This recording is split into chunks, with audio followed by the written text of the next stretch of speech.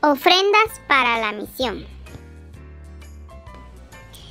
En Filipenses 2 del 25 al 30 y 4 del 14 al 20 vemos que Pablo escribió esta carta a los filipenses mientras se encontraba en la prisión.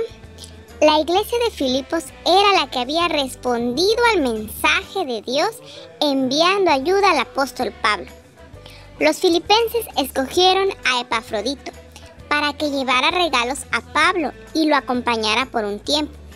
Epafrodito sabía que al realizar ese viaje su vida podría estar en peligro. Y así fue. Cuando estaba con el apóstol, se enfermó de gravedad y estuvo a punto de morir. Cuando la iglesia de Filipos lo supo, la congregación se preocupó mucho. Por esa razón, Pablo decidió que Pafrodito regresara a Filipos.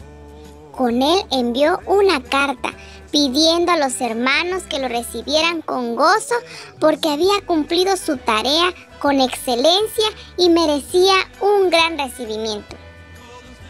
Lo más importante para Pablo fue que los hermanos de Filipos, al saber de su necesidad, la hicieron suya y respondieron de inmediato y con amor su disposición fue tal que aceptaron la aflicción de Pablo como propia y decidieron actuar.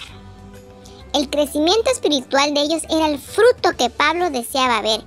Para ello realizó un arduo trabajo. Las ofrendas de los filipenses agradaban a Dios porque nacían de corazones obedientes y atentos a la necesidad. Dios sigue obrando de la misma manera hoy. Las ofrendas y oraciones que los cristianos envían son de bendición y ayuda para los misioneros de todo el mundo. Queridos hermanos de Filipo, creo que es tiempo de que mi amigo Epafrodito vuelva para estar con ustedes. Él es como un hermano para mí. Ustedes lo enviaron para que estuviera conmigo cuando más lo necesitaba. Lo enviaron como mensajero para que me cuidara. Ahora está deseoso de volver. No quiere que se preocupen por su salud. Estuvo muy enfermo, pero Dios tuvo misericordia de él y de mí. Quiero que lo vean para que sepan que está bien. Recíbanlo en el Señor con mucho gozo. Él casi muere por la obra de Cristo, arriesgando su vida para hacer lo que ustedes no podían hacer por mí. Gracias por participar de mis sufrimientos. Ustedes fueron los únicos que me enviaron ayuda. Gracias por todo lo que hicieron por mí. Ya no espero recibir más regalos. Estoy feliz porque ustedes aprendieron a dar y ayudar a los demás con gozo. Recibí todo lo que me enviaron y tengo en abundancia.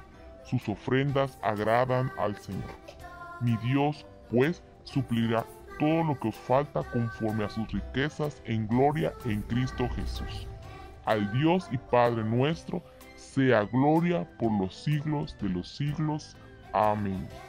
De un siervo de Cristo, Pablo. Por tanto, id y haced discípulos a todas las naciones, bautizándolos en el nombre del Padre y del Hijo y del Espíritu Santo. Mateo 28, 19.